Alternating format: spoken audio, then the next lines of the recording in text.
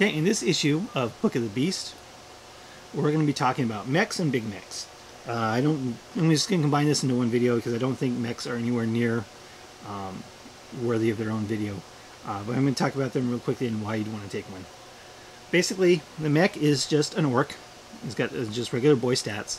Um, he is a character, uh, and he's a whopping whole 15 points. Why would you want to take a Mek? Uh, because he is a character. You can put him in units without characters. You can put him in units with so they have an additional character, uh, just to add uh, more uh, mob rule options. Get more models in a unit. Uh, they don't take a slot. For every HQ slot you use, you can take a Mek. So if you're running like two old force arcs, you could take you know four Meks if you wanted to, and sprinkle them around.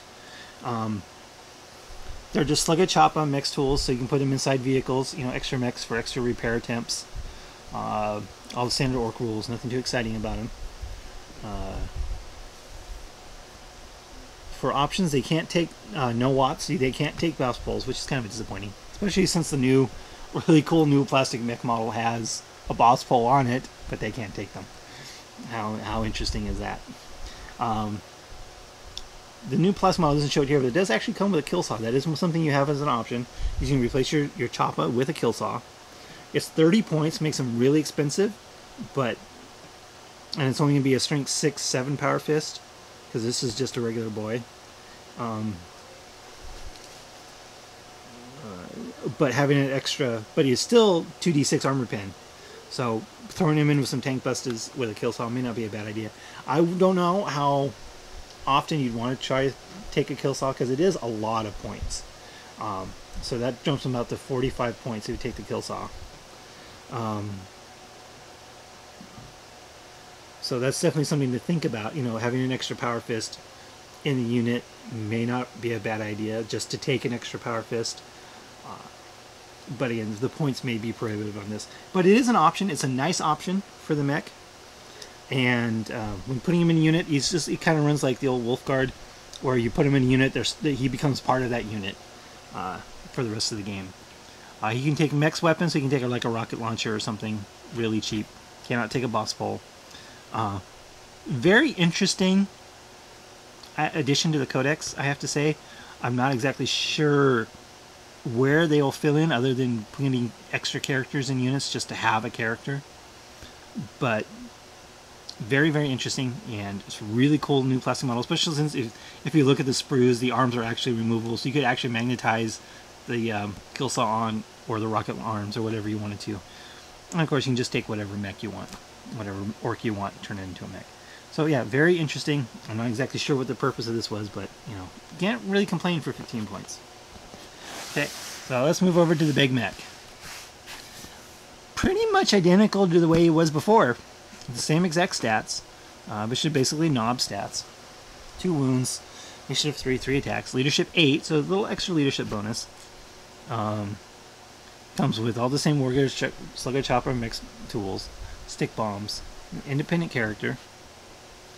Um, he has a lot of options though, as big Meks have had before, and pretty much, as I said, it's exactly the same as he was before, with a little bit of difference. You take heavy armor, you can take a custom force field or a Shokk Attack Gun. Both are 50 points. No. Custom force field is 50. Yeah, both are 50 points. You can take a kill saw for 30.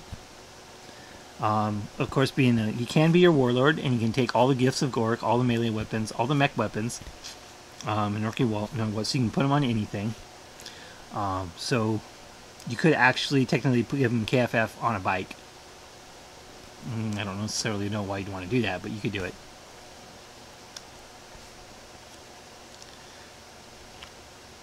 Um, you can give him Mega Armor, of course. Um, and you can give him a Custom Force Field or Teleport Blaster on if you give him Mega Armor. So you can give him Mega Armor with a KFF, put him in with some Meganobz and Mad Dok. Yeah, that sounds like fun. Um, see, what does a teleporty blaster do? Let's see here. Where is the ranged weapons? Let's go over here. Cannons.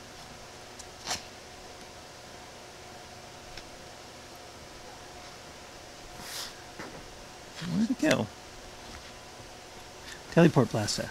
Range 12 inch, strength 8 AP2, assault 1 blast, teleporta. Teleported, any wound to roll of a 6 made with this weapon has instant death, and any roll of 6 um, causes a penetrating hit, regardless of the armor value. So, a roll, uh, that's not too bad. Roll of 6 is an auto pin with an AP2, so that's not too bad. Uh, it's only a 12 inch range. And, you know, it's, I don't know what, it's kind of an homage to the, the teleporta, teleporta of lore from the War Ghazghkull campaigns. Um, so it's kind of cool. Not necessarily, you know, all that great, but especially for 25 points. Um, but still, an AP2 small blast uh, is definitely nothing to laugh at, and it doesn't get hot, unlike the uh, all the other custom weapons. So that's not too bad. So again, um, the biggest change, of course, is in the KFF itself, which has gone from all units within 6 inches get a 5 plus cover save to all models within 6 inches get a 5 up invul save. This is both a nerf and a boost at the same time, depending on what you want to play. For large hordes of infantry, it is a huge nerf. Because before you put one, you know, one KFF somewhere, conga line out to all the units, so they all got a cover save. And there was so much ignore cover save stuff coming out with Tau and Eldar that the KFF was actually starting to lose some effectiveness, especially in turn in, in competitive play where you're going to be facing Tau and Eldar a lot. Uh, so it's kind of a disappointment for that.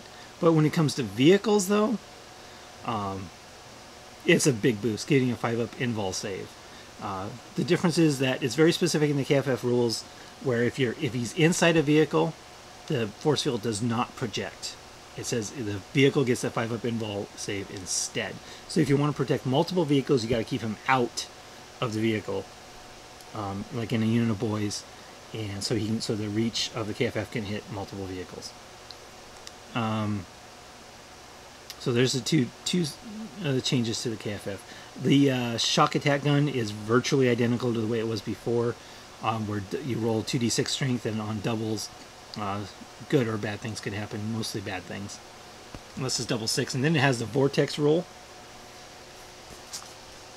which we can look up.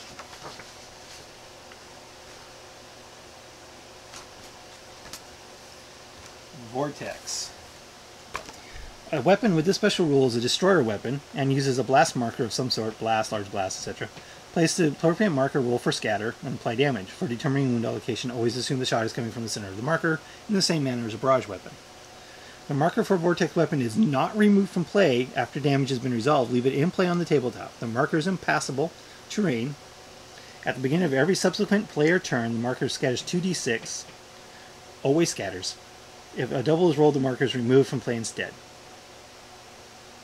Any unit under the marker's new location is hit. Apply damage as described above. So if you roll the double sixes on the Shokk Attack Gun, wow. I've actually only ever done it once. Of course, I haven't played the Shokk Attack Gun a lot, but I've only ever done it once and proceeded to eliminate an entire Black Templars command squad just off the board. Um, so now, but now it's a destroyer weapon on the double sixes, and it stays on the table and moves around. Um, it doesn't hit anything in in on, in the path, just in its final location. So if you roll those double sixes, it's very very potent, very potent, no doubt about that. Um, so really, the uses for the Big Mek hasn't changed. Um, he's still your cheapest single model HQ unit if you just want an absolutely bare bones HQ, just that because you have to have one for 35 points. Um, remember, the Mek only counts because you have to have another HQ first. So if you just want to uh, do that, you can.